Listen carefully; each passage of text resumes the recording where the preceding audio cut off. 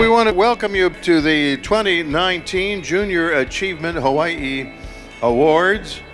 I want to say a few words on behalf of Junior Achievement Hawaii. Just to thank all of you for one, being here and being supporters of Junior Achievement Hawaii and financial literacy and the mission that we have to serve the school system. We all need a little help sometimes in finding who we are and affirmation that we can be comfortable in our own skin.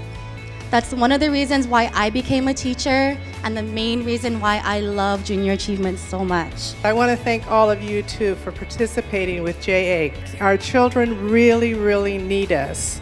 And I think that the most fun that I have is, like I said, going into the classroom and doing the program in the elementary schools. Really, anything that I've accomplished in the last 14 years at Hawaiian Airlines is the result of the collective effort of everyone at our company because nothing we do gets accomplished without everyone working together.